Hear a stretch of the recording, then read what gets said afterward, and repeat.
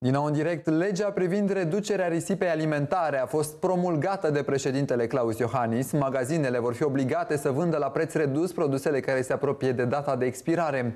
În plus, o altă lege care vizează restaurantele a fost adoptată. Restaurantele, barurile, cantinele, dar și firmele de catering, catering vor fi obligate prin lege să le ofere gratuit apă potabilă clienților care vor cere asta.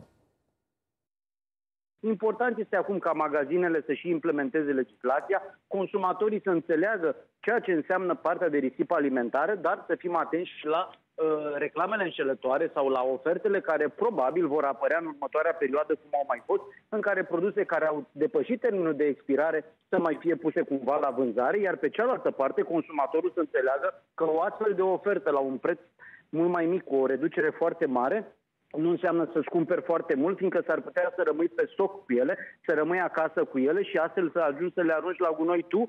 Legea vizează magazinele și le obligă să vândă la preț redus toate produsele care se apropie de data de expirare, dar și ca restaurantele să le ofere clienților un pachet cu mâncarea pe care nu au reușit să o termine la masă. În plus, apa de la robinet va fi gratuită la restaurante. Cred că este un strict uh, Uh, să spunem, minim până la urmă, uh, obicei european, o normalitate pentru civilizație. Iar când discutăm despre apă, ar trebui să fie pusă la dispoziția consumatorilor cu două mențiuni. Însă, unul, că trebuie să afișeze și să primească consumatorii apă gratuită, dar pe cealaltă parte acea apă să fie dintr-un sistem uh, care să nu le pună în pericol sănătatea.